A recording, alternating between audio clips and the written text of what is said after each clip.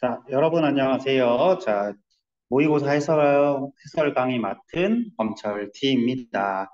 자, 오늘은 이제 어떤 수업을 진행을 할 거냐면, 자, 여러분들이 어떻게 이제 주제를 찾고 어, 적용을 해야 될지에 대해서는 지난 시간에, 어, 지난 시간까지 하면 거의 다 배웠다라고 생각하시면 되는데, 그래서 쌤이 이번에는 새로운 걸 좀 얘기해 볼까 합니다. 자, 이것은 무엇이냐 하면 바로 자 오늘의 컨셉 한번 위에 같이 적어볼까요? 오늘의 컨셉 오늘 수업 컨셉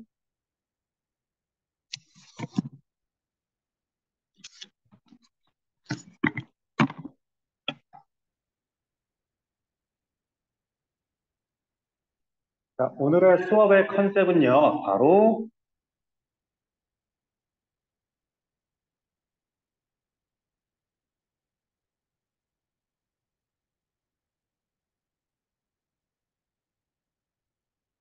정답에서 역추적 정답에서 역추적 적어볼까?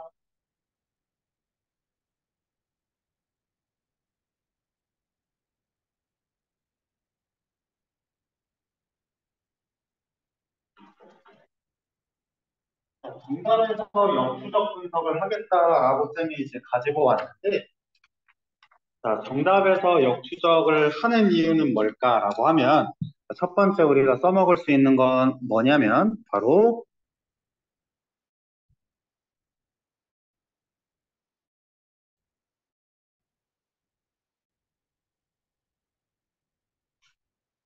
내신 대비해서 사용할 수 있다라는 점입니다. 또 지금 연동이 잘 안 되네요. 또 이 자리를 이동해 봐야 되겠네. 내신 대비해서 사용해 볼 수 있다라는 점입니다. 내신 대비. 자, 그 이유는 뭐냐?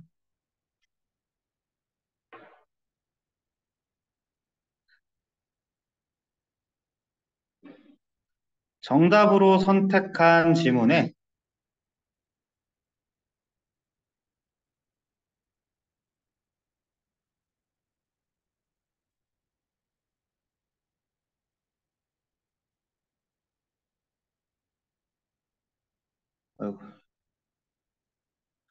정답으로 선택한 선택지에 필요한 정보가 담겨 있기 때문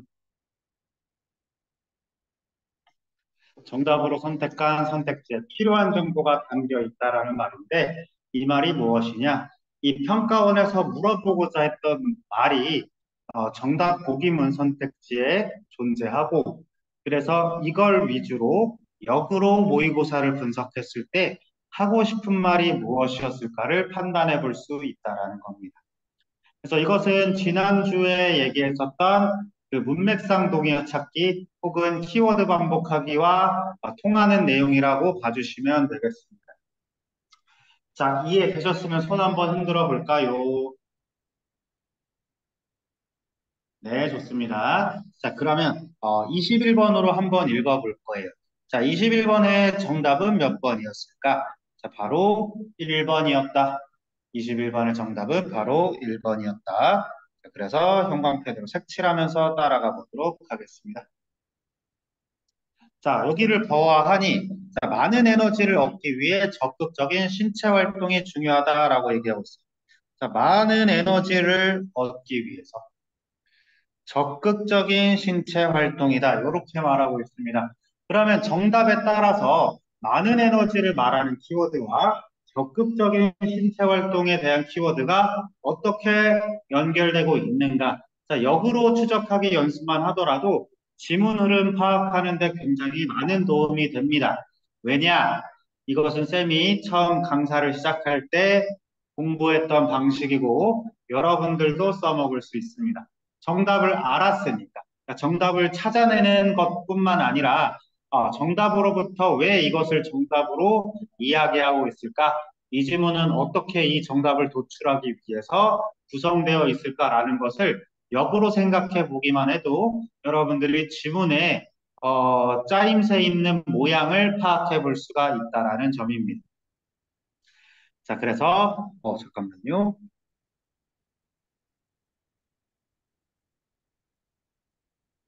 색깔을 좀 다르게 해볼게요.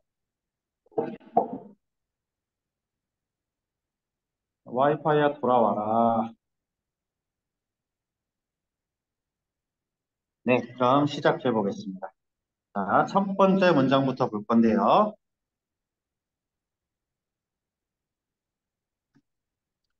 자, imagine that your body. 어, 상상해 보세요. 뭐, 너의 몸이 배터리라고 상상해 보세요. 라고 이야기하고 있고. 자, 그 다음에, and, uh, the more energy this battery can store, the more energy you will be able to have within a day. 이렇게 말하고 있습니다. 와이파이야 빨리 되라줘. 자, 그렇게 됐을 때 지금 이쪽 문장 한 번만 보시면은요, 이 문장. 더 플러스 비교급, 더 플러스 비교급으로 이루어져 있는데, 더 플러스 비교급 같은 경우에는 어법 시간에 따로 다룰 수 있도록 하고, 오늘은 지문의 내용 위주, 독해 위주로 볼 거기 때문에 어법은 따로 다루지 않겠습니다. The more energy the better can store 라고 했는데, 아까 어디서 봤었 지? 1번 더 많은 에너지를 얻기 위해 적극적인 신체 활동이 필요하다라고 얘기했었어요. 자, 그래서 모 에너지의 표시 한번 해보죠.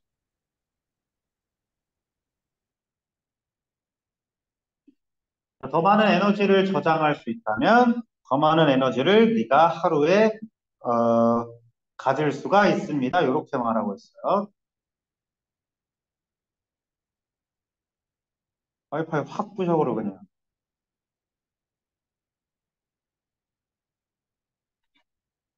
표시 두 개 했습니다.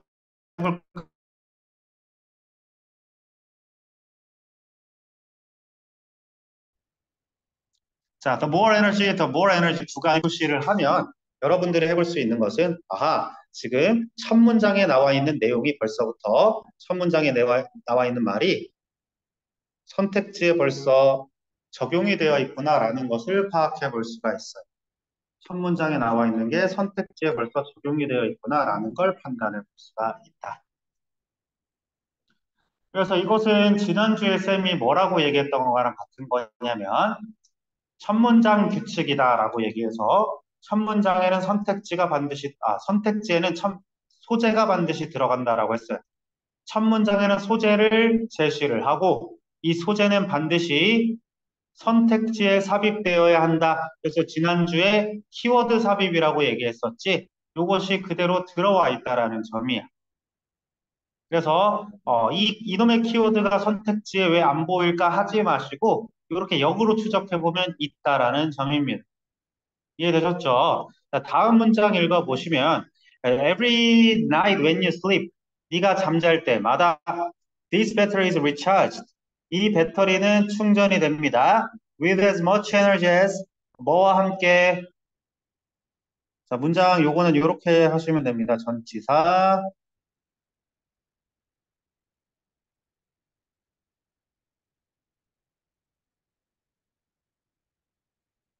전치사의 목적어 이렇게 해가지고 자 더 많은 에너지 그러니까 뭐뭐 어, 충분한 에너지만큼 충전되고 있다. 뭐 한 만큼 네가 오늘 네가 사용한 만큼의 충분한 에너지가 충전되고 있습니다.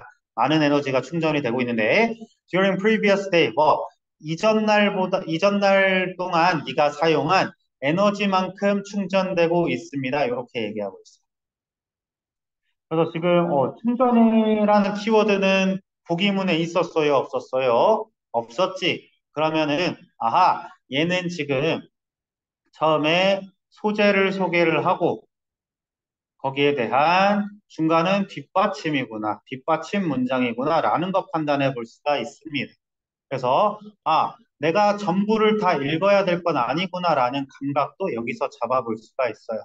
처음에 소재를 제시했어요. 더 많은 에너지라고. 그러면서 뒷문장은 뒷받침 문장으로 사용되고 있다.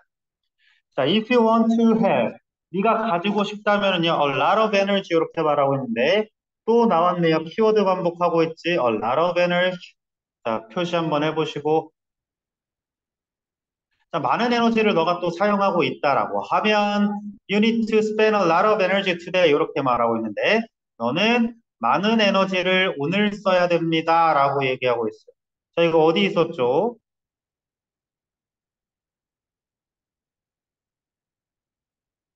자, 얘는 여기에 나와 있는 키워드네.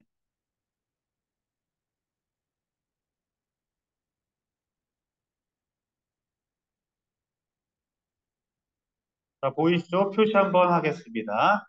You spend a lot of energy today. 적극적인 신체 활동에 대해서 이야기하고 있고, 어, 두 개는 문맥상 동의어로 사용되어 있다라는 걸 볼 수가 있습니다. 자, our brain consumes only uh, 20% of our energy. 우리의 뇌는 20%만 사용하고 있기 때문에 so it's a must라고 하는 must는 필수 조건이라는 명사입니다. 필수 조건.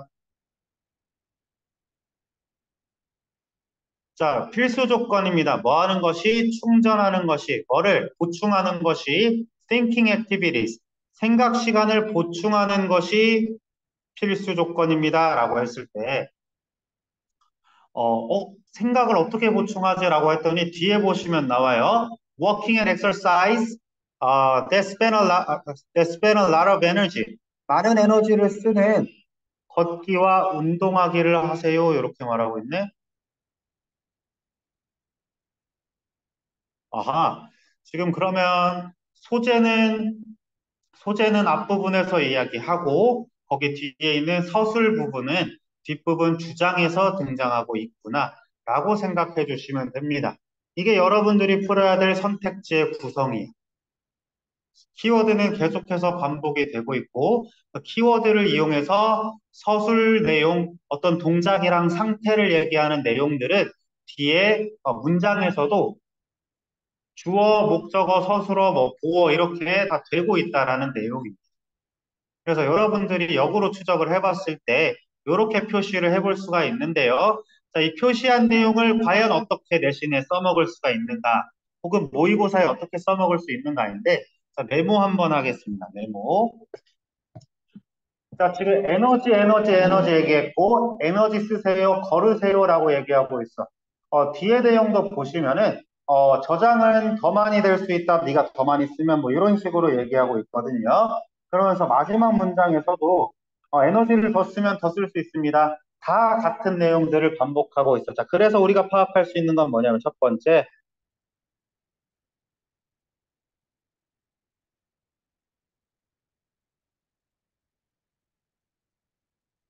지문의 일관성을 파악할 수 있다라는 점입니다. 지문의 일관성을 파악할 수 있다. 그래서 일관적으로 쓰여지는 지문들이 이렇게 말하고 있기 때문에 문장이 다 같은 말을 하기 위해서 같은 말을 하기 위해서 짜여진 단어들, 짜여진 문장들이 어떻게 쓰여져 있는가를 여러분들이 스스로 분석해 볼 수 있어야 된다는 겁니다. 자, 지문의 일관성을 파악한다라고 하면 또다시 수능에서는 어떻게 사용될 수가 있는가? 바로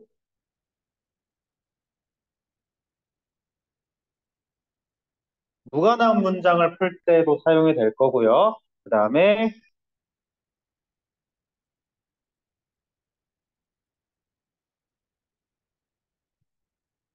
어휘 문제에서도 해결이 가능하게 되겠다. 어휘 문제에서도 해결이 가능하게 되겠다. 자, 그럼 어휘 문제 뭐 어떤 식으로 내신 때, 고등 내신 때 등장하는지 한번 보면은요.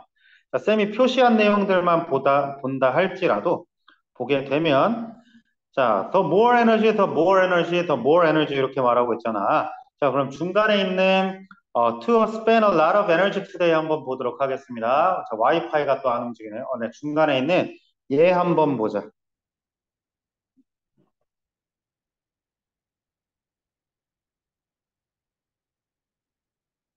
누가 와이파이를 갖다가 쓰나 봐요.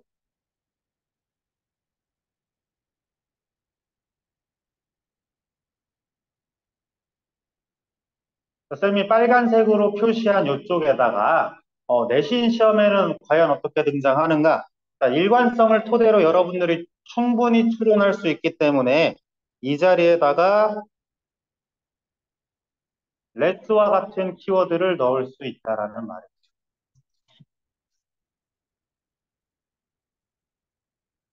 네, 저 자리에다가 let's와 같은 키워드를 넣기도 한다. 그런데 저렇게 변형이 된다 할지라도 여러분들은 이 지문의 일관성만 보시고 저 답변을 고를 수 있어야 되겠습니다. 자, 어휘 문제는 반이어가 등장하는데 여러분들이 역으로 추적해서 아, 이것이 요렇게 요렇게 배치되어 있구나. 이 키워드들이 이 자리 이 자리에 배치되어 있구나라는 걸 판단을 했을 때 어, 어휘 문제가 등장을 하면 저렇게 대처해 볼 수 있겠습니다. 자, 고등부 내신에서도 써먹을 수 있는 내용이었다. 자, 두 번째 얘기하겠습니다. 두 번째 밑으로 내려와서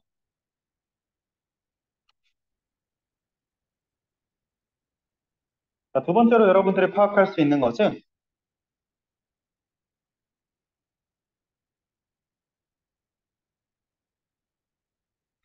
키워드가 반복되고 있음을 파악할 수 있다라는 점이야. 키워드가 반복되고 있음을 파악할 수가 있는데 자, 키워드가 반복되니까 어휘도 그랬고 빈칸도 추론할 수 있었습니다. 자, 수능에서는 뭐냐? 우리 지난주에 봤던 거랑 똑같아요. 빈칸 추론 해결할 수 있습니다. 일관성 있게 쓰여져 있었기 때문에 일관성 있는 키워드를 넣어주셔야 된다. 지문은 어, 모의고사 문장은 일곱 일곱에서 여덟 문장으로 이루어져 있는데 그 자, 일곱 여덟 문장이면 별마디 못 하거든요. 그래서 무조건 일관성 있게 써야 된다라는 거야. 그래서 이것을 착안을 하시면 나중에 어 내신에서 이상하게 변형하지 않았을까라는 의심조차도 없어질 수가 있습니다. 자, 세 번째입니다. 세 번째. 자, 쌤은 기술 영역이라고 부르는데요. 쌤은 기술 영역이라고도 부르는데 이건 몇 번이냐면 36번부터 39번입니다. 자, 이 어, 여기서도 역시나 지문 연결성을 파악할 수가 있다. 지문 연결성을 파악할 수가 있다. 아, 이런 흐름으로 글이 쓰여지고 있구나라고 판단이 되면 내신에서 아무리 변형을 해도 여러분들이 어,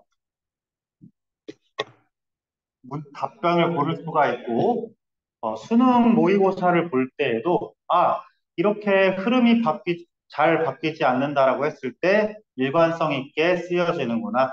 흐름이 바뀔 때에는 역적과 같은 것들이 들어오겠구나라는 걸 여러분들이 스스로 추론해 볼 수 있겠습니다. 자, 이해되셨을까요? 손 한번 흔들어 볼까요? 이해되시는 사람? 네, 좋습니다. 네, 좋습니다. 네, 그래서 이 지문 연결성을 통해서 우리가 가볼 지문은요, 바로 35번입니다. 35번.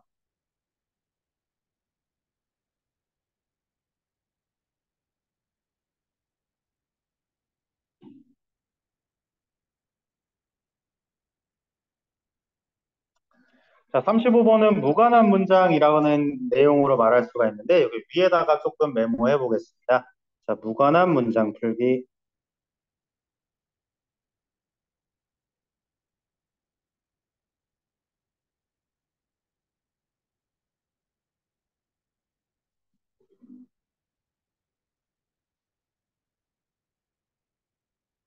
자, 무관한 문장 같은 경우에는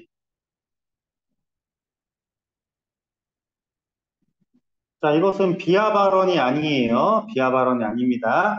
무관한 문장 같은 경우에는 어휘만 주어지면 초딩도 풀 수 있습니다. 어, 사실 무관한 문장이 그만큼 쉽다라는 게 아니고 쌤이 초등부를 맡았던 시절에 단어 다 뿌려주니까 애기들도 풀었다 이 말이야. 여러분들도 쉽게 풀 수 있는데 이 무관한 문장 같은 경우에도 쌤이 단어라고 얘기했지 아, 무관한 문장을 푸는 열쇠는 바로 밑에 적겠습니다. 소재 기준으로 판단하시면 됩니다. 소재. 무관한 문장은 소재 기준으로 판단한다. 키워드 기준으로 판단해 주시면 된다라는 거예요. 자, 그럼 소재에 대해서 어떻게 보면 되나요? 라고 한다면 첫 번째,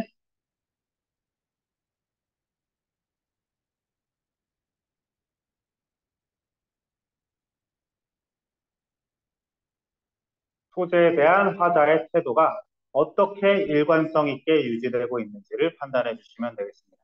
소재에 대한 화자의 태도 일관성 있게 유지되는지 판단하면 되는데 쌤이 예문을 지금 말로 할 거니까 어, 그냥 들어봐 주시면 좋겠습니다. 자, 많은 사람들은 바나나를 먹습니다. 자, 바나나는 단백질이 풍부한 과일이라서 어, 몸을 만드는 사람들에게도 좋습니다. 바나나는 노폐물을 배출하는 성향이 있어서 변비 환자에게도 좋습니다. 바나나는 칼륨이 풍부하기 때문에 어, 나트륨을 배출하기도 합니다. 때때로 바나나는 칼륨이 너무 높아서 신장을 망가뜨리기도 합니다. 자, 이렇게 말했을 때 여러분, 어, 방금 쌤이 말했던 마지막 문장 있죠? 칼륨이 많아서 어, 신장을 망가뜨린다 라고 했을 때 쌤이 앞 내용들은 다 어, 바나나가 좋다라고 플러스를 얘기하고 있었지만 마지막 문장은 마이너스를 얘기했어요. 그래서 화자의 태도가 달라졌지. 그래서 얘만 정답으로 고르시면 됩니다. 자, 두 번째 거 한번 얘기해 볼까요? 두 번째는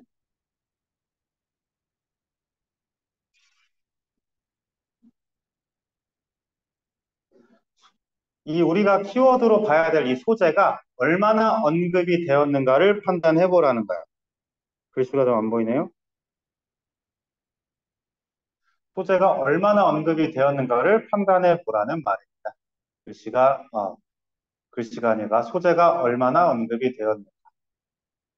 자, 바나나는 몸을 만들기에도 좋고 단백질이 풍부해서 칼륨이 풍부해서 노폐물을 배출해 줍니다. 배변 활동을 도와줍니다. 자, 많은 사람들이 코끼리를 잡기 위해서 바나나를 사용했습니다. 마지막 문장에서 주인공 누구예요? 바나나가 아니라 코끼리지 소재가 단순히 언급만 되어 있었습니다. 그래서 이러면 바로 정답으로 골라주시면 된다. 자, 그래서 이 18년 11월 모의고사에서는 예로 문제를 풀면 됐었습니다. 소재 언급 비중으로 문제를 풀 수 있었다. 일관성이 어떻게 떨어지고 있는지를 한번 판단해 보도록 하겠습니다. 자, wouldn't it be nice? 좋지 않겠습니까? Wouldn't it be nice? 좋지 않겠습니까? If you could take your customers. 네가 너의 고객들을 데리고 올 수 있다면 이렇게 말하고 있는데 고객들을 데리고 올 수 있다면 좋지 않겠습니까? 라고 물어보고 있어. By the hand and guide each one through. 자, 손을 잡아서 직접 데리고 올 수 있으면 좋지 않겠습니까? 그 다음에 뭐가 좋지 않겠어? Guide each one. 각각을 인도하면 좋지 않겠습니까? 아이고.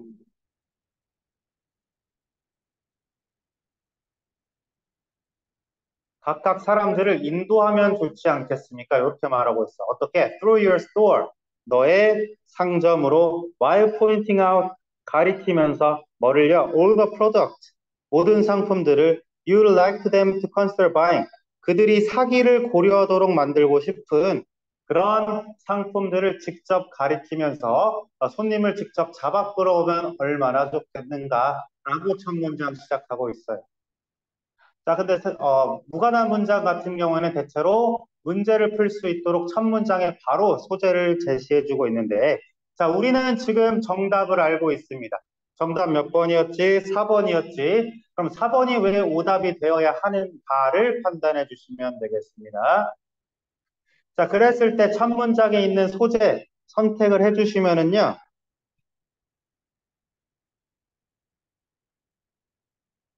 손으로 직접 끌어오겠습니다. 라고 얘기하고, 두 번째, 각각을 상품 가리키면서 인도하겠습니다. 라고 얘기하고 있습니다. 각각을 상품을 가리키면서 인도하겠습니다. 라고 얘기하고 있거든요.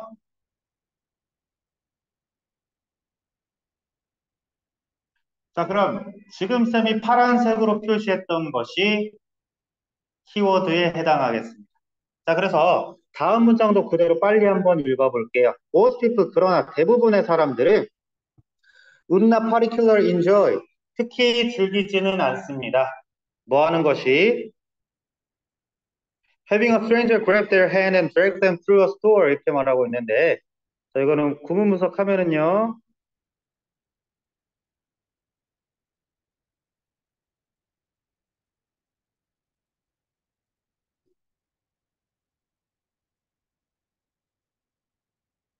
자, 이렇게 처리하시면 됩니다. 낯선 사람이 그들의 손을 잡게 하는 것과 그리고 음, 그리고 그들을 그들로 하여금 어, 상점으로 이끌고 들어가는 것을 별로 즐기지 않습니다. 이렇게 말하고 있어. 자, 키워드에 대해서 충분히 언급이 되었죠. 자, 표시 한번 해볼게요. 그들의 손 잡고 끌어오는 거예요.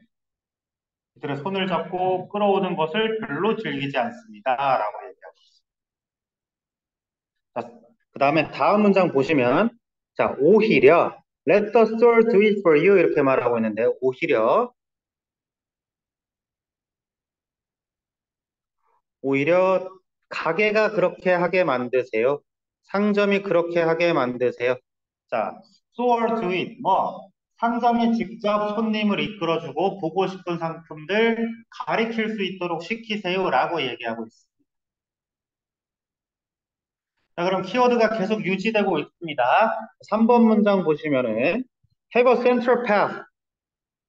자, 중앙 길을 뚫어 놓으세요. 중앙 복도를 만드세요. That lead shoppers through the store.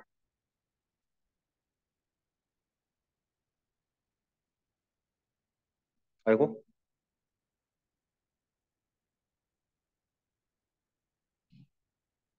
이렇게 한꺼번에 묶겠습니다. 중간에 스토어에서 지우시고 한꺼번에 묶겠습니다.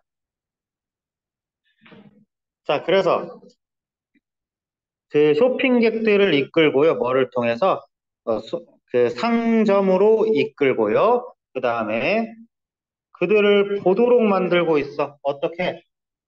different departments of product of product area.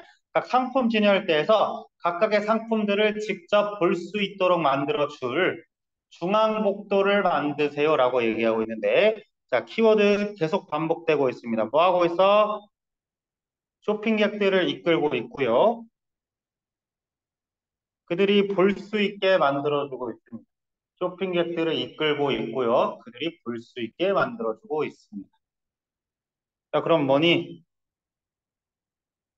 내가 하지 않아도 상점이 직접 상품들을 가리켜주고 있다라는 것까지 판단해 볼 수가 있습니다.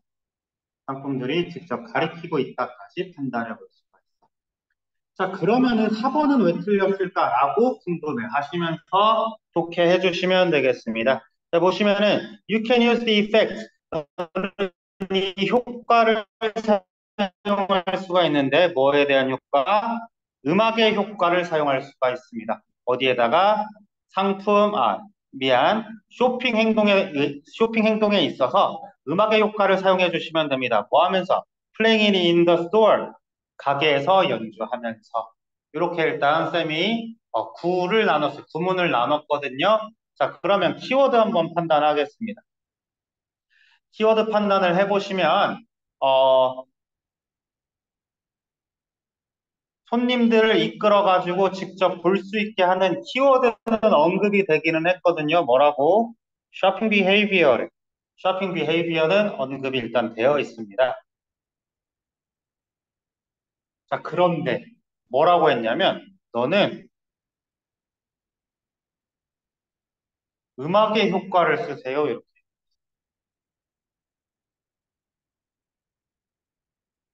그러면서 그것을 플레이하라고 얘기했습니다.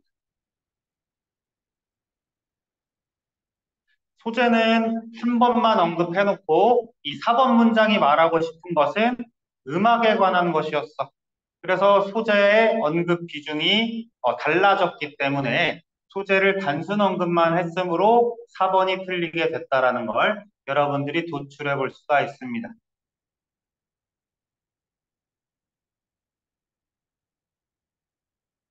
자, 그래서 5번 문장도 여러분 분석해 보시면은요. 어, These past leisure customers 똑같은 말 다시 하고 있지. 너의 손님들을 끌어올 겁니다.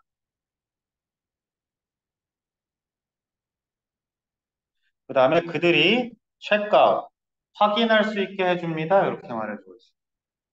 4번 제외하고 다 키워드로 일관성 있게 쓰여져 있다라는 거 여러분들 판단해 볼 수가 있다. 알겠어? 정답을 알고 있는 상태에서 이렇게 그러니까 누군가는 이게 끼어 맞추기가 아닙니까? 라고 말할 수가 있는데 맞아요. 끼워 맞춰서 이 지문에 끼워 맞춰서 이 지문이 하고 싶은 키워드들이 뭔지를 여러분들이 찾아내셔야 된다라는 거예요. 왜 이 단어가 사용이 되었을까? 왜 이 문장이 사용, 어, 이 문장으로 흘러갔을까라는 궁금증을 만들어내는 것은 어떻게 하면 내가 이것을 어, 정답에 맞게 잘 끼워서 분석할 수 있을까? 요거 고민해 보시라는 말입니다. 자, 이해가 되셨을까요? 네, 좋습니다. 자, 그래서 어, 35번까지 확인을 했고요. 자, 우리가 어, 보러 갈 것은 29번으로 다시 넘어가 보자. 29번.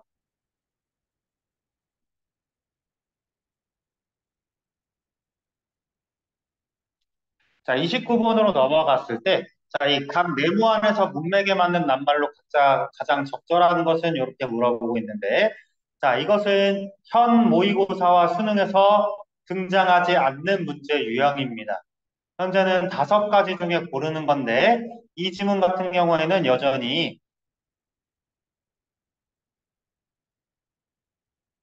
내신에서 출제되고 있고요.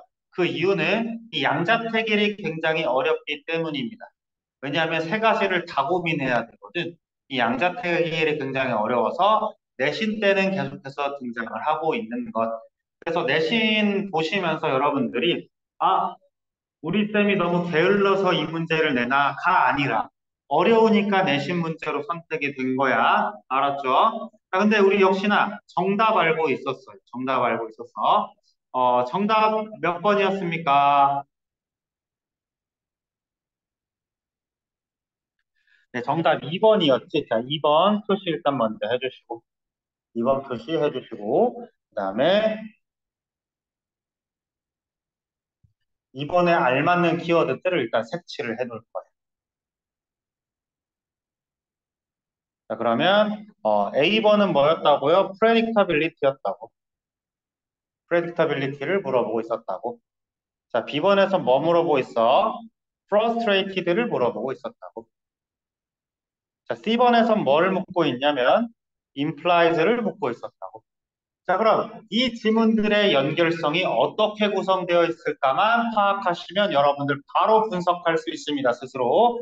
자, 그러면은 어, 한번 읽어보도록 하겠습니다. 자, we notice repetition. 자, 우리는 반복을 확인합니다. 라고 얘기하고 있는데, 이 반복이란 키워드 뭐가 될까? 반복이란 키워드.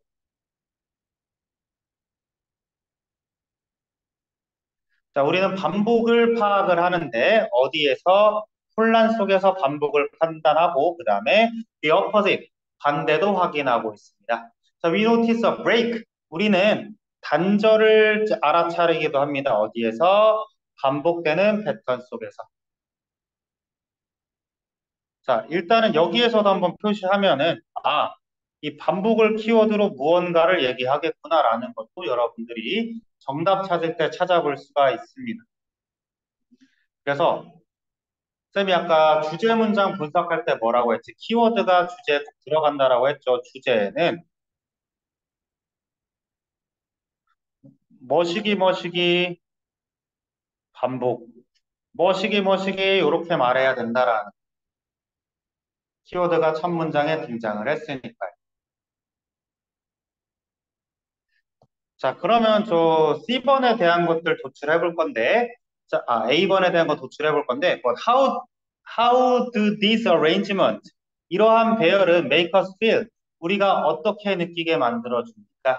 And what about perfect regularity and perfect chaos? 이렇게 말하고 있는데, 자, 완전한 규칙성과, 완전한 규칙성과 완전한 혼란은 어떻습니까? 이렇게 말하는데요. 완전한 규칙성이 뭐겠어? 어머. 반복되고 있다. 반복되고 있는 것에 대해서 여전히 말하고 있는 겁니다.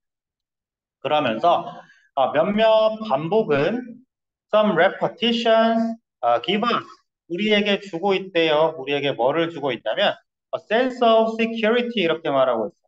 Sense of security 뭐 안정감을 주고 있대 안정감. 아하 이 소재인 repetition이라고 하는 것은 우리에게 안정감을 주고 있, 구나라는 거 판단해 주시면 되겠고 자, 다음에 나와 있는 접속사 인댓인데요. 인댓. 인댓은 뭐뭐라는 점에서 인댓은 뭐뭐라는 점에서라는 뜻을 가지고 있습니다. 자, 안정감을 주고 있다. 어? 답 이미 알고 있잖아, 우리. 안정감은 뭐야? 왜 안정감이 오지? 자, 표시할게요. 예측 가능하기 때문에 안정감이 올 것이다. 아하, 우리 질문에 앞문장에, 앞문장에 정답의 근거가 포함되어 있구나라는 것 판단해 주시면 되겠습니다. 자, 그러면서 안정감을 느끼는데 그 이유가 뭐냐면 We know what is coming next. 무엇이 다음에 오고 있는지를 알기 때문, 아, 예측성이 있기 때문 이렇게 말하고 있네. 그래서 we like some predictability. 우리는 예측성을 좋아합니다. 라고 말해주는 게 연결이 되고 있습니다. 아, 지문이 굉장히 일반적으로 잘 짜여 있구나를 좀 느껴주셨으면 좋겠습니다. 그래서 어 후반부의 unpredictability를 말하기 위해서 어, 다른 말이 있지 않을까라고 의심하지 말라는 거야. 일관적으로 쓰여져 있기 때문에 여러분들이 판단한 대로 읽으시면 되고 자 쌤이 어휘 문제 왜 정답 이거 골랐어요? 라고 물어보면 열의 열은 이것 같았어요. 감으로 풀었어요. 라고 하는데 아니에요. 분명히 지문에 근거 있습니다. 지문의 근거 여러분들이 역으로 찾아낼 수 있다라고 하면 지문 스스로 다 분석할 수 있는 경지까지 올라갈 수 있어요. 반드시 역 추적해서 분석해 보시기 바랍니다. 알겠죠? 자, B번으로 넘어가겠습니다. 자, rearrange our lives. 우리의 삶을 배열해요. 우리는 우리의 삶을 배열해요. largely 주로 어떻게 repetitive, repetitive schedule 여기 또 반복 나왔네. 반복적인 일정으로 우리의 삶을 주로 아, 우리의 삶을 아, 배열하고 있습니다. 라고 했는데 지금 반복과 반대 키워드 등장했습니다. 색깔이 너무 많아서 헷갈리려나요? 자, 랜덤니스라는 반대 키워드가 일단 등장을 했어. 랜덤니스라는 반대 키워드가 등장을 했는데, 자, 랜덤, 어, 아니다. 이건 요 색깔로 해야 되겠네. 랜덤. 랜덤니스라는 반대 키워드가 등장을 했죠. 자, 그래서 한번 쭉 읽어보면은, 쌤이 지난주에 얘기했죠. 컴마, 컴마 무시하시라고. 이 무작위성이라고 하는 것은 더 어렵습니다. 더 두렵습니다. 이렇게 말하고 있어요. 무작위성이라고 하는 것은 어렵습니다. 두렵습니다. 그래서 with perfect chaos라고 했는데 완벽한 완벽한 무질서래 랜덤니스랑 같은 말이죠. 완벽한 무질서는 어떻다라는 거야? 어렵습니다. 무섭습니다. 이 파란색으로 연결된 친구들 사이에서 뭐가 등장할 수 있어? 좌절스럽습니다가 등장할 수 있구나. 아, 역시나 어, 문장의 앞뒤에서 내용 찾아볼 수 있구나 라는 거 찾아주시면 되겠습니다. 이해되셨을까요? 자, 그런데 그런데 그 무서운 뭐가 나왔냐? 역접이 등장했습니다. 벗이라는 역접이 등장을 했어. 자, 요거를 또 한번 문장에 참색하러 갈 건데 일단 읽어보고 쉬는 시간 갖다가 이야기하겠습니다. 자, perfect, perfect regularity. 어, 이 완벽한 규칙성은 even is perhaps even more horrifying 이렇게 말하고 있어. 어? 뭐였지? 벗이 등장한 다음에요. 아까 우리 똑같은 키워드 있었어요. 무섭다라는 키워드가 여기서 등장을 하고 있는데 아까 완벽한 규칙성은 누구였냐면요. 완벽한 규칙성은 키워드였어. 반복이었어, 반복. 그럼 벗 다음부터 반복에 대해서 비판하겠구나라는 거 판단해 주시면 됩니다. 자, 지금 보시면은 색깔 안 맞잖아, 그치? 색깔이 안 맞아요. perfect regularity랑 horrifying이랑 색깔이 안 맞아요. 아, 무언가 이제까지 읽은 것에 반전을 주고 싶구나라고 생각해 주시면 되겠습니다. 자, 그래가지고 implied를 이제 찾으러 가시면 되는데,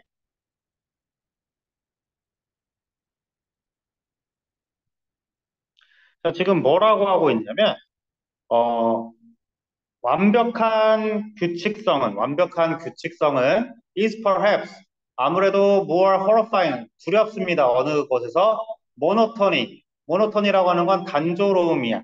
그러면 무작위성보다 단조로움에서 더욱더 무섭습니다. 라고 하면서 자 그것은 내포하고 있어요. 무엇을? 내포하고 있어요. 차가움, 냉혹함, 그 다음에 mechanical quality, 기계적인 특성을 내포하고 있습니다. 이렇게 말하고 있어요. 왜? 자, 겹치겠습니다. 완벽한 규칙성은 무섭기 때문이다. 완벽한 규칙성은 무섭기 때문이다. 자, 그럼 우리가 지금 초록색으로 칠했던 저 키워드가 초록색으로, 그러니까 처음에 보라색에서 시작했던 키워드가 초록색이라고 생각을 하고 있었죠. 근데 다시 보라색 키워드가 파란색임을 알게 되었어. 그래서 결국 어, 저 빨간색 키워드까지 연결될 수 있다라고 여러분들 이해해 주시면 되겠습니다. 자, 보라색이었던 친구가 초록색의 특성을 가지고 있었어요. 근데 저 초록색의 특성이 결국 뭐였다? 파란색이었고 빨간색이었다라고. 그러면 완벽한 규칙성이 가지고 있는 예측성이 있지만 완벽한 규칙성이라고 하는 것은 좋지 못하다라고 얘기해 주시면 되겠습니다. 그래서 위에 쌤이 떡밥을 한번 회수해 보겠습니다. 주제 뭐라고 해서 반복이라고 했지. 반복 뭐였어? 그리고 반복 뭐야? 규칙성이었지, 규칙성. 규칙성은 규칙성은 음, 뭐라고 얘기할 수 있냐면 음,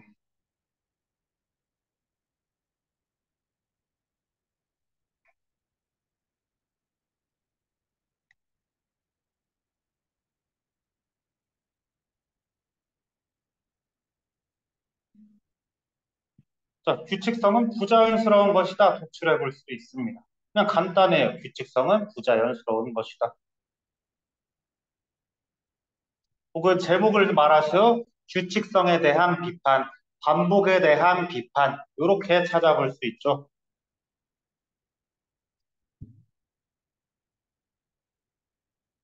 자, 그런데 얘들아 여기 벗이 후반부에 등장을 했거든요. 벗이 후반부에 등장을 해가지고 얘가 지금 지문상에서 어떤 역할을 했을까?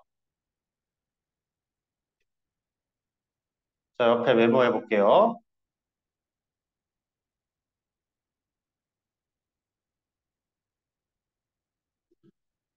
갑자기 등장해서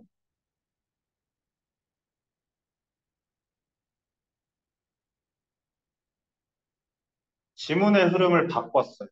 갑자기 등장해서 지문의 흐름을 바꿨다.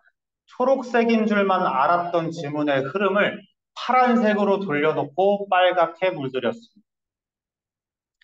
그래서 저 벗이 이끌고 있는 문장 같은 친구들이 대체로 내신에 어떻게 등장하냐?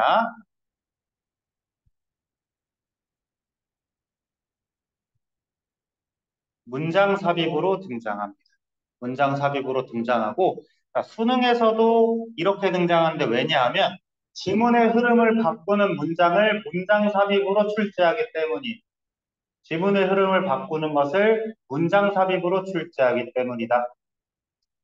자 그러면 실제로 그런지 어, 지문으로 들어갈 거고요. 그 전에 잠깐 휴식하겠고 어, 8시 1분에 다시 뵙겠습니다. 잠깐 휴식.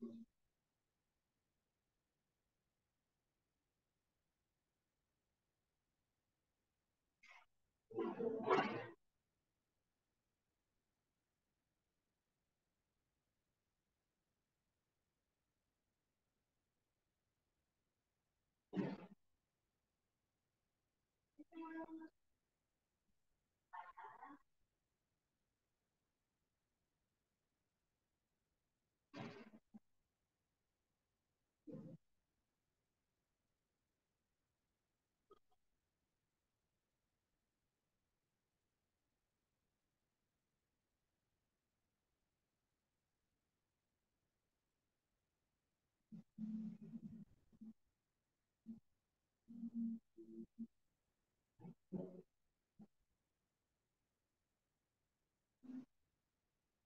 you.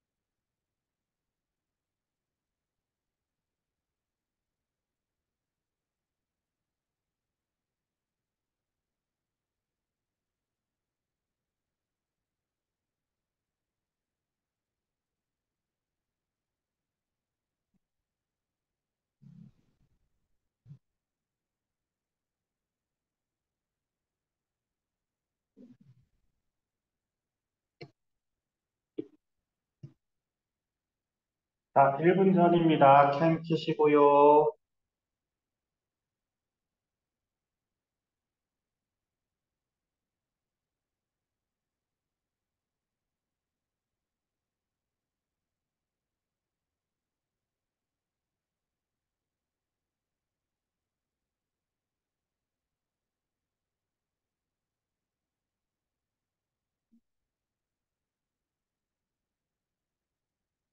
캠 키시오.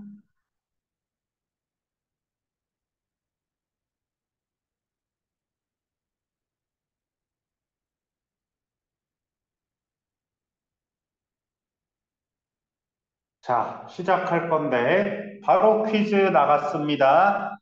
범철T의 오늘 수업 컨셉은 무엇인가요? 자, 바로 받아 적으시오. 오늘 컨셉 무엇일까요? 오늘 범철T의 수업 컨셉은 정답에서 역추적 분석하기 퀴즈 답변 얘기했습니다. 못 돌아온 사람들은 퀴즈를 답할 수가 없습니다. 쌤 20초만 기다리겠습니다. 오늘 범철T의 수업 컨셉은 무엇인가요? 정답에서 역추적하기이다. 오늘 범철T의 수업 컨셉은 정답에서 역추적하기이다. 오늘 범철T의 수업 컨셉은 정답에서 역추적하기이다.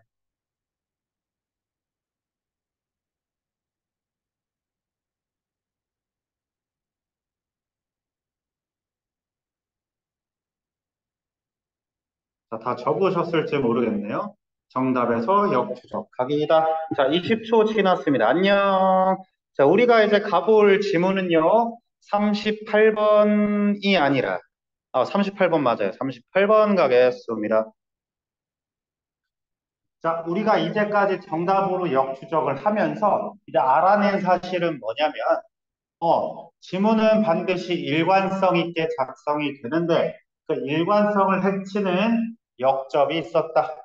근데 그 역접이 들어올 때 후반부에 갑자기 등장을 했을 때에는 문장 삽입이 되더라라는 패턴이었습니다.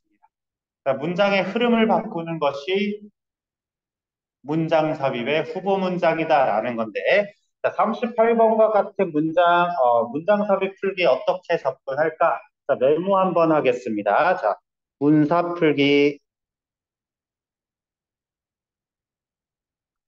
자, 문삽 풀기. 자, 문삽이 어떻게 풀릴 것이나 첫 번째. 자, 초보들은 어떻게 풀까요? 초보들은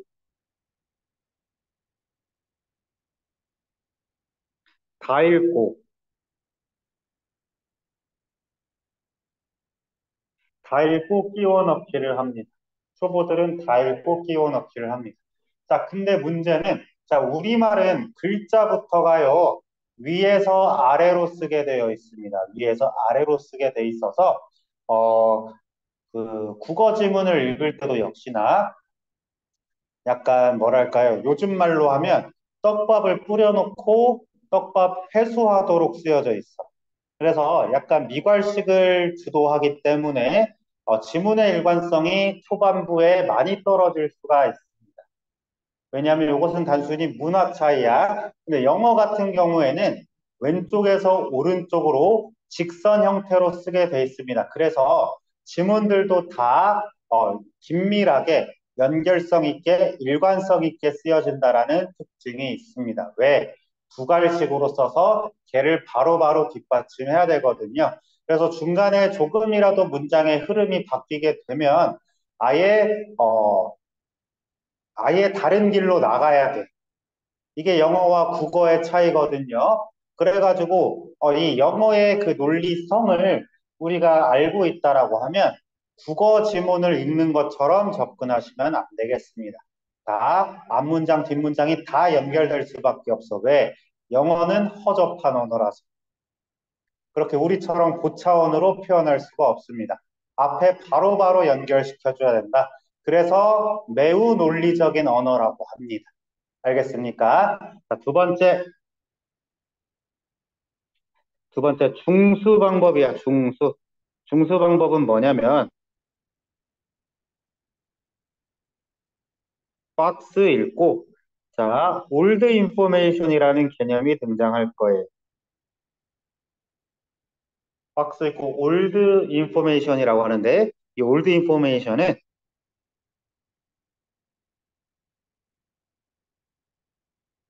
주어진 정보입니다. 주어진 정보에 대해서 우리가 어떻게 판단해 볼 수 있을까?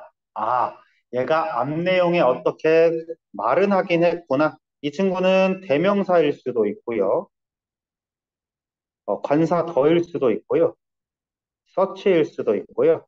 그냥 앞에서 언급한 어떤 어구일 수도 있어. 얘를 판단해가지고 얘가 어디서부터 등장을 할까라는 것을 판단해 볼 수 있습니다. 세 번째 고수 방법이야. 고수 방법은 박스 무시하고요. 박스 무시하고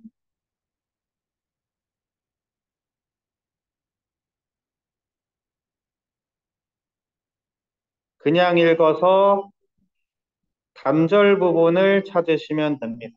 그냥 읽어서 단절 부분을 찾으시면 됩니다.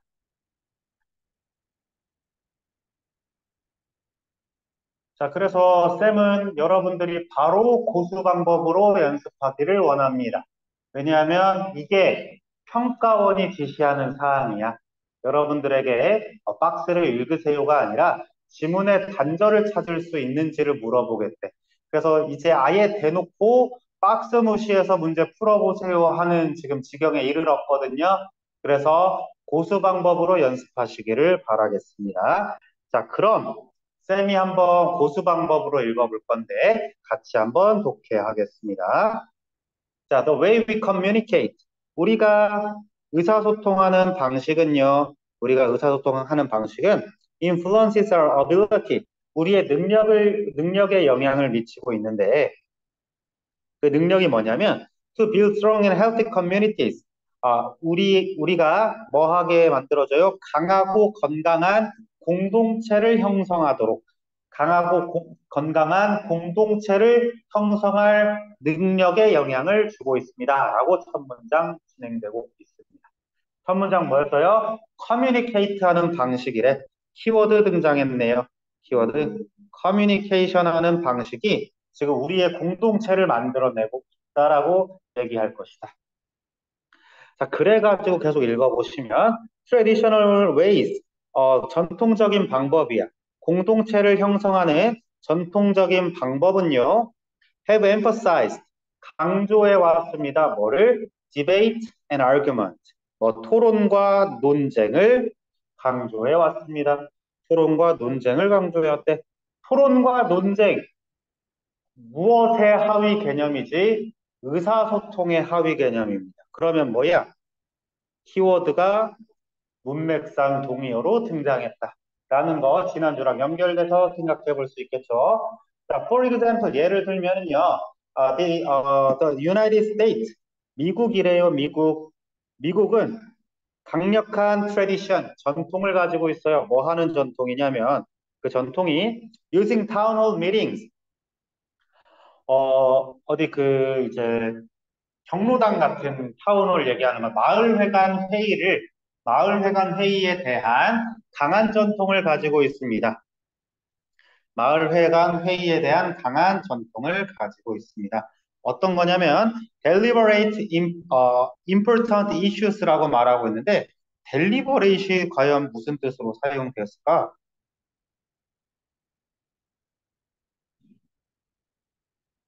자, deliberate라고 하는 것은 자, 숙고하다라는 뜻이 되겠습니다. 숙고하다. 그래서 중요한 문제들을 생각하기 위해서 우리 마을회관에서 모이시다라고 하는 거야. within communities 어디 안에서 공동체 안에서 자 이렇게 봤을 때 연결성으로도 여러분들이 파악해 볼 수가 있거든요. 연결성으로 파악해 보시면 뭐 하고 있대? 공동체 안에서 이슈를 한번 생각해 보겠대요. 공동체 안에서 이슈를 생각하겠다라는 건 뭐야? 의사소통하겠다라는 거야.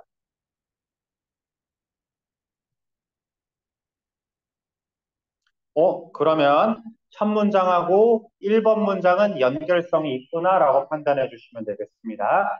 In this setting, 이러한 배경에서 advocates라고 말하고 있는데 이것은 지지자들이에요. 지지자들. 지지자들 뭐 할 지지자냐면 for each side of issue 각 문제의 each side 각각 부분의 지지자들 어, 오늘 야식을 먹자 말자 하면 야식 먹는다 파, 안 먹는다 파 각각의 지지자들은 present argument 어, 논쟁, 자신의 주장을 제시합니다. for their positions 그들의 어, 위치에 대한 자 그들의 주장을 그들의 위치를 주장하겠대요. 이거 색깔이 어디 갔어? 음. 자, 주장하겠대. 자, 키워드 연결되고 있죠? 계속해서. And public, uh, public issue. 그래서 공공의 문제는 have been discussed in such public forum. 자, 포럼이라고 하는 것은 광장 정도 되겠습니다. 광장. 그래서 그 공공의 문제는 역시나 어떻게 되고 있다? 어머, 토론되고 있다. 계속해서 토론에 대한 이야기하고 있습니다. 아하, 2번도 역시나 연결성이 있구나라고 판단하시는 것. 3번, Yet for debate and argument to work well, people need to come to such forum with similar assumption and values라고 말하고 있는데요. 아하, 역시 또 말하고 있네요.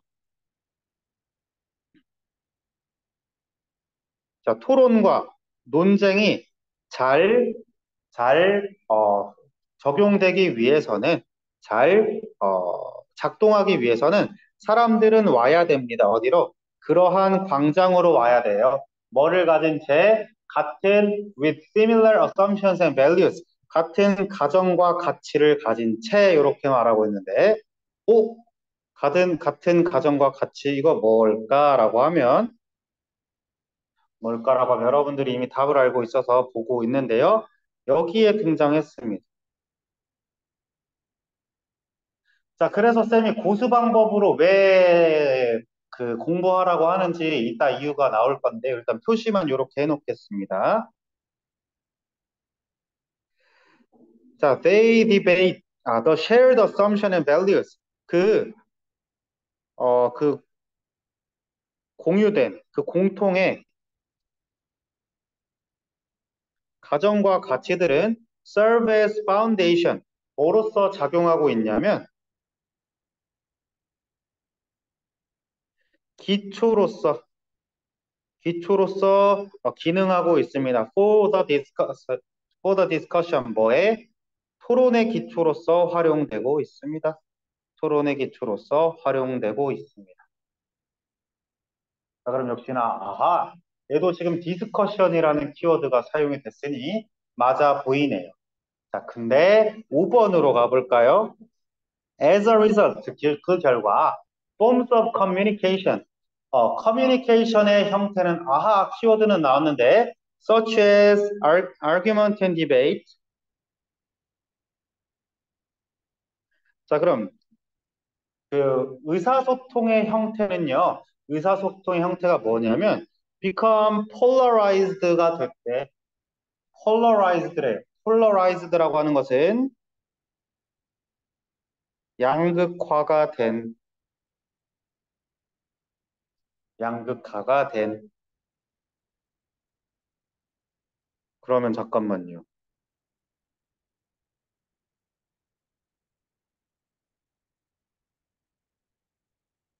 이게 뭔데? 자, 이제까지 우리가 공동체를 유지하기 위해서 토론을 하고 있었다고 하고 있는데 토론의 내용이 양극화되고 있대. 서로 극과 극지방에 있다라는. 그럼 공동체가 유지가 되겠어요? 안 되겠어요? 안 되지. 자, 1번부터 4번까지 공동체의 유지를 위해서 사람들은 모여가지고 토론을 했는데 갑자기 5번에서 그래서 양극화가 됐대요. 말이 되나 안 되나? 안 되죠. 그래서 단절이 있다. 5번에서 고르라 라는 점입니다. 그래서 위에 한번 볼까요? 위에 다시 그럼 박스 한번 보시면 however 그러나 사회가 점점 어떻게 된대? 다양해짐에 따라 다양해짐에 따라 자, likelihood라고 하는 건 가능성입니다. 어떤 가능성? 사람들이 어, 가정과 아, 가정과 가치를 공유할 거라는 가능성은요. 줄어들 것 같습니다. 줄어들고 있습니다. 이렇게 말하고 있습니다. 줄어들고 있습니다. 다양성 때문에 사람들이 공유하는 가치가 줄어들고 있습니다. 라고 얘기하고 있습니다. 그럼 이 하웨버 문장 지금 뭐 하고 있어요, 지금? 갑자기 후반부에 나타나서 흐름 바꿔버림. 갑자기 후반부에 나타나서 흐름 바꿔버렸어. 이런 거 낚시가 있을 수 있다라는 거지. 자, 그러면은 쌤이 좀 작은 화면으로 바꿨는데 자, 요거 어떻게 지금 판단할 수 있는지 보시면은요. 자, 여기서부터 여기까지 뭐라고 얘기하고 있냐면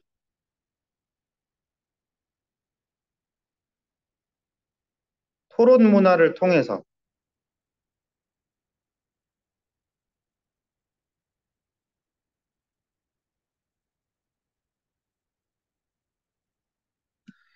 토론 문화를 통해서 건강한 공동체를 형성하고 있습니다. 라고 했다, 갑자기.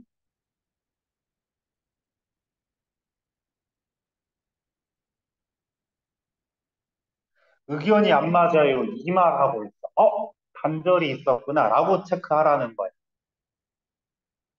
아하, 5번에 빠진 저 갑자기 후반부에 나타난 흐름 바꾸는 문장이 들어오는구나 라고 하는 게 이 문장 삽입 문제 만들기의 패턴이고 여러분들이 고등부 올라갔을 때 이렇게 후반부에 버스로 역접으로 나와서 내용을 바꾸고 갑자기 주제도 바꿔버린다. 그렇게 하면 문장 삽입이구나 라고 판단하시면 됩니다.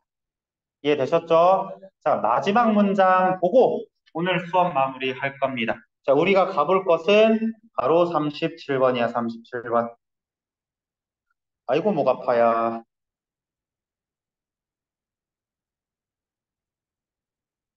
37번 간단하게 얘기하겠습니다. 자, 순서 문제 푸는 방법은 여러분들 많이 들었을 텐데 자, 첫 번째로는 박스 읽을 거예요.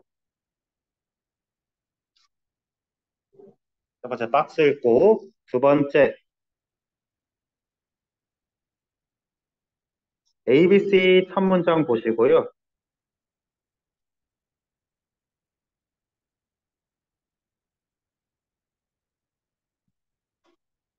각 old information을 판단해 주시면 되겠습니다. 각각의 old information 판단해 주시고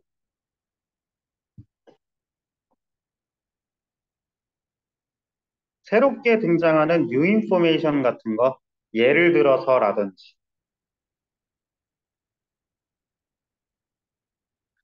뭐 어와 같은 관사, 어, 관사 같은 것들은 어, 주의해서 봐주시면 되겠습니다.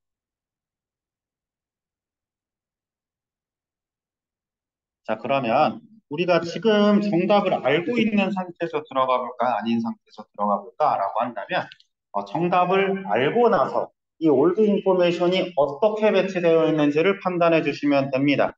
그러니까 정답을 알고 나서 old information이 어떻게 배치되고 있는지 판단하시면 역으로 사용해 보시면 되겠습니다. 자, 그럼 정답은 몇 번이었어? 2번이었어.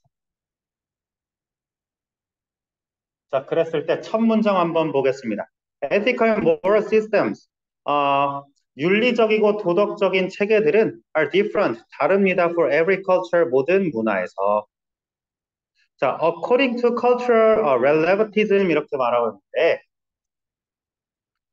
어, relativism 이렇게 말하고 있는데, relativism, relativism이라고 하는 것은 relate는 어, 관련 있다 혹은 상대적이다라는 뜻을 가지고 있거든요. 그래서 문화 상대성입니다. 상대성.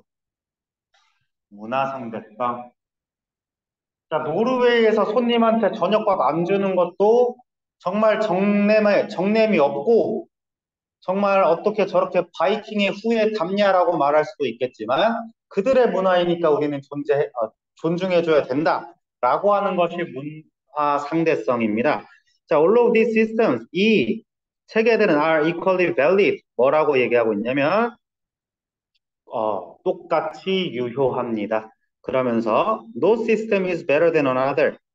그 어떠한 체계도 나은 것은 없다라고 얘기하고 있어요. 그럼 이놈의 old information이 대체 어디에 등장했는가? B로 한번 보도록 할게요. B1 한번 보시면은 The basis of cultural uh, rel relativism 이렇게 말하고 있습니다. 그러면서 자 여기 쌤이 한번 표시해 볼게요. 자 문화 상대성의 기초는 개념입니다. 뭐라고 하는 어,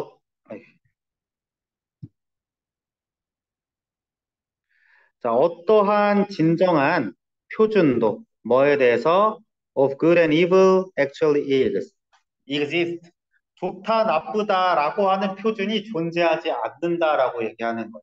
아하 그럼 반복어구를 우리는 찾았습니다. 반복어구를 찾았어. 뭐냐면 모두 다 유효하고요. 그 다음에 그 어떤 것도 더 나은 것은 없어. 그 이유는 뭐냐? 좋고 나쁨이 실제로 존재하지 않기 때문입니다. 좋고 나쁨이 실제로 존재하지 않기 때문이다. 아하, 요렇게 연결성을 찾을 수가 있구나라는 거 여러분들이 인지해 주시길 바랍니다. 알겠죠? 자, 그러면 다음에 보시면은 therefore, 그러므로 judging whether something is right or wrong 이렇게 말하고 있는데 right or wrong 이거 뭐야? 좋다 나쁘다야. 좋다 나쁘다는 is based on individual society's belief. 각각의 사회의 믿음에 따라 달려져 있습니다. 손님이 집에 와서 밥 때가 되면 밥을 당연히 줘야 된다라는 우리나라 사람의 마음도 있겠지만 손님이 있든 없든 너는 외부인이니까 밥은 네가 알아서 먹어라라고 하는 노르웨이의 방법도 맞았다라고 하는 자, and any moral and ethical opinions. 그래서 어떠한 도덕적이고 윤리적인 의견들은 are affected. 영향을 받습니다. 뭐에 의해서? 각 개인의 관점에 의해서 영향을 받습니다. 이렇게 찾아냈어요. 자, 그래서 A번으로 가시면은 어, there exists an inherent logical 어, inconsistency 이렇게 말하고 있습니다. 자, 여기 inherent 본질적인 그러나 본질적으로 논리적 비일관성이 있, 존재합니다. 이렇게 말하고. 그러면서 however가 등장했네요. 문장의 흐름 바꿔주고 있다. 문장의 흐름 바꿔주고 있다. 그럼 내신 공부하실 때 아, 예, 문장 삽입할 수 있겠구나. 혹은 주제 문장으로 등장할 수 있겠구나. 그래서 하웨브로 등장했으니까 이 문장 열심히 공부해야겠다. 딱 감 잡을 수 있죠. 자, A번 같은 경우에는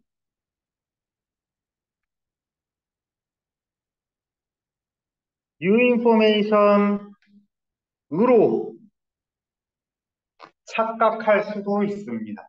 왜냐하면 첫 문장에 드러나 있지가 않거든. 근데 뒤에 보시면은요. 어, 자, if one accept the idea. 누군가가 이 아이디어를 받아들인다면 뭐가 뭐를 그 어떠한 옳음도 그름도 없다라는 어, 어, 어떠한 맞음도 틀림도 없다라는 걸 받아들일 수 있다라고 하면 there is exists no way to make judgment 뭐 할 방법이 없어?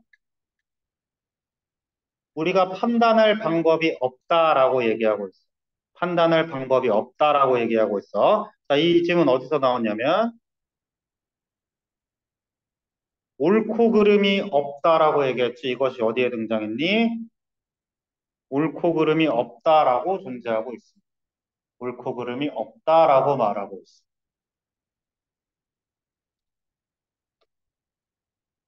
아하, 그러면 옳고 그름 저 보라색을 비판하기 위해서 이 키워드가 사용이 되었구나. 어, 논리적 비일관성이 사용이 되었구나라는 걸 판단해 볼 수 있습니다. 저 보라색을 비판하려고요.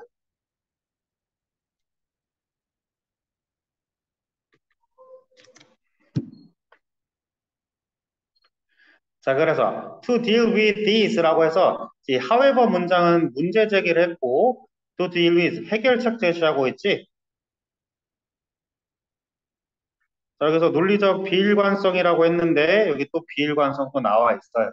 이런 식으로 계속 일관성 있게 말하고 있습니다. 이 비일관성을 해결하기 위해서 뭐를 만들어냈냐라고 하면 문화 상대의 주인은 tolerance, 관용이라는 걸 만들어냈습니다.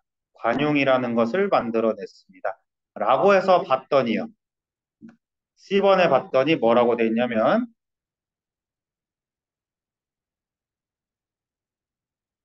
비관용은 관용과 함께 온다라고 얘기하고 있습니다. 비관용은 관용과 함께 온다. 아하, 이 톨러렌스라는 말이 있었기 때문에 A번 다음에 C가 와야 되겠구나 라는 거 판단해 주시면 되고 자 C번 쌤이 그 어, 색칠한 이 초록색 구문 분석은 이렇게 하시면 됩니다. 도치 구문이에요. 부사구 도치. 그래서 비관용은 관용을 수반한다.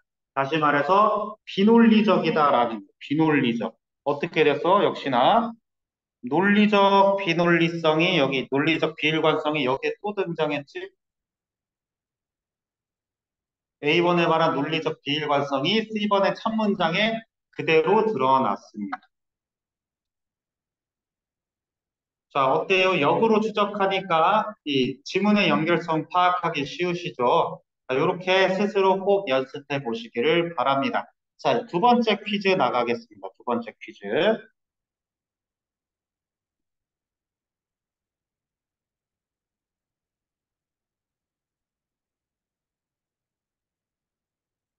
검찰티가 37번.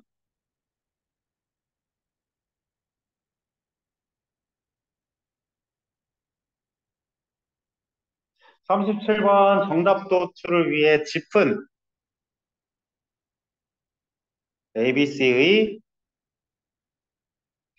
키워드 세 가지를 말하시오. 자, 힌트는 초록색입니다. 검찰티가 37번 정답 도출을 위해 짚은 ABC의 키워드 세 가지를 말하시오. 힌트는 초록색이 되겠다.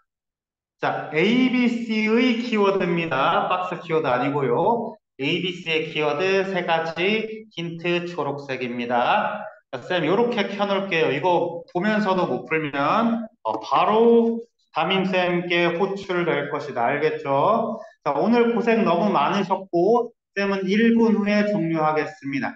자, 여러분 너무 수고 많으셨습니다. 다음 주에 뵙겠습니다. 안녕.